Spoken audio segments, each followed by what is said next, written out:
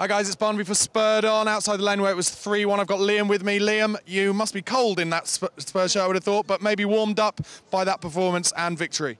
It's fantastic. I was I was more happy with the signings we brought in in the summer, such as Alli and Alderweireld and such as, and the defence in a hole, even though we conceded and didn't keep the clean sheet. I think it's improved so much over the last few seasons, and not playing Fazio as a bonus, obviously. Yeah. But I was well happy. I was a bit tense towards the end, obviously, when it was 2-1. But when Kane wrapped up, I've lost my throat. I'm too excited. Buzzing. Yeah, to be honest, something I haven't mentioned yet is obviously this is another example of a game this season where we've got points where last season we got turned over by tactics Timmy Sherwood in that one Aston Villa 1-0 at home last year. So that's good. That just shows the improvement of the team this season, doesn't it? How far do you think this side can go this year? Champions League, without a doubt. Without a doubt. I think we've got the talent and the youth, and obviously Hodgson's always at our games because um, the young English talent we have, but just keep watching space, like for other teams who might watch Spurs on or whatever, just watch out for Spurs. We're doing it. Very, very confident. Okay, just last thing going into the game, the North London Derby Sunday. I just want a scoreline prediction from you. What's the score going to be on Sunday?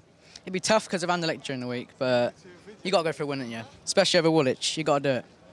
2 0. 2 0. You heard it here first, guys. Let us know if you agree with what I had to say in the comment section below. Don't forget to subscribe to the channel on YouTube and follow us on Twitter at Spurred on TV. Cheers, mate. Cheers, Thanks thank a lot.